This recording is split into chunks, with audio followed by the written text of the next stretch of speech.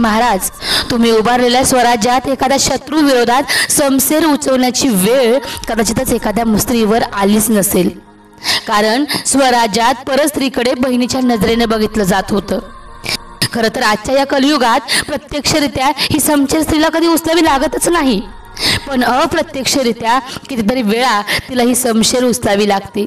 ती तिच्या आजूबाजूच्या प्रवृत्तीशी विचारांशी लढताना तिला समशेर उचलावीच लागते. कुठे बाहेर जाताना प्रवास करताना बसमध्ये एखाद्या पुरुषाच्या घाणेरड्या नजरेला तोंड देताना तिला ती समशेर उचलावीच लागते. घरात जेव्हा मुलगी जन्माला आली म्हणून दुःख व्यक्त केलं जातं मुलगा मुलगी हा भेदभाव केला जातो तेव्हा त्या विचाराशी लढताना तिला समशेर उचलावी लागते. मुलीच्या शिक्षणाला जेव्हा घरातून विरोध केला जातो तिला स्वतःच्या पायावर उभे राहू न देता जेव्हा जबरदस्तीने तिचं लग्न जाऊन लावून दिलं जातं ना तेव्हा त्या प्रवृत्तीला विरोध करताना तिला समशेर उचलावी लागते. एखाद्या स्त्रीला तिच्या हुशारी आणि कर्तृत्वाच्या जोरावर काही गोष्टी मिळाल्या ना तर तू एक स्त्री आहेस म्हणून तुला या सहज मिळाल्या. असं बोलणाऱ्या घाणेरड्या विचारांच्या विरोधात त्या स्त्रीला समशेर उचलावी लागते.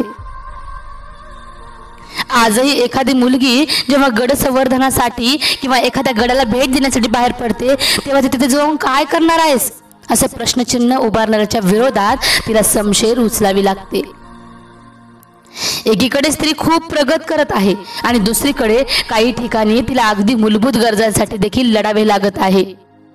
असं म्हणतात की काळ पुढे गेला पण पुढे जाणाऱ्या काळासोबत काही जणांचे विचार मात्र मागेच राहिले.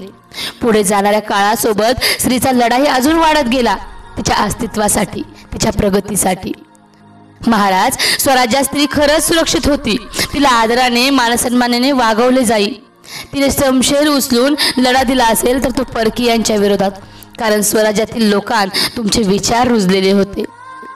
आपल्या आयुष्याच्या प्रवासात अनेकदा आजूबाजूच्या प्रवृत्तीशी लढताना आपण स्वराज्यात जन्म घ्यायला हवा होता हा विचार प्रत्येक स्त्रीच्या मनात एकदा तरी नक्कीच डोकावेत असेल. फक्त नावापुरते शिवभक्त आणि मावळे न म्हणता ज्या दिवशी खऱ्या अर्थाने तुमचे विचार लोकांमध्ये रुजतील त्या दिवशी खऱ्या अर्थाने या समाजात स्त्री सुरक्षित राहील. लेखक आहेत संकेता. खूप सुंदर लेख आहे. आवडला तर नक्कीच लाईक शेअर आणि सबस्क्राईब करा. धन्यवाद.